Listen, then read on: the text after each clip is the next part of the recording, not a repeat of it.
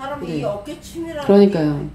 제가 가게를 옮기지 못해서 가게가 좀 좁아서 왜소해서 죄송하지만 하여튼 신나는 곡 한 곡 틀어드릴 테니까 어, 좀 속상한 거 푸시고 어, 뭐라 그러죠? 머릿속에 있는 그 나를 괴롭혔던 그 인간들 있죠.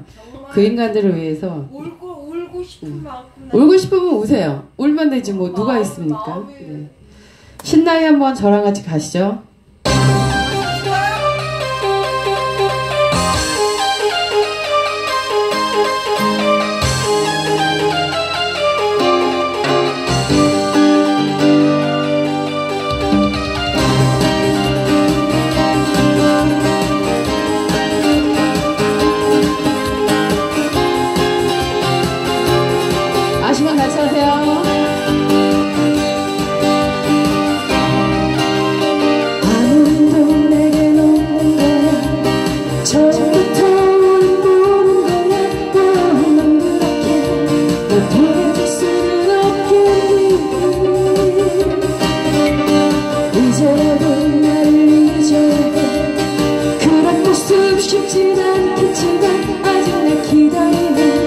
내 너를 아는 마음이 아파.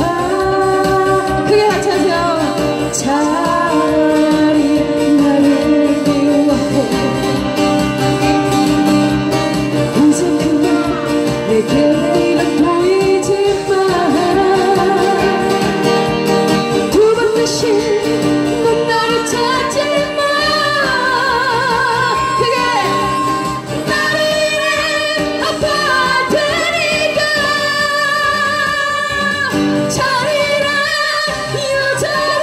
여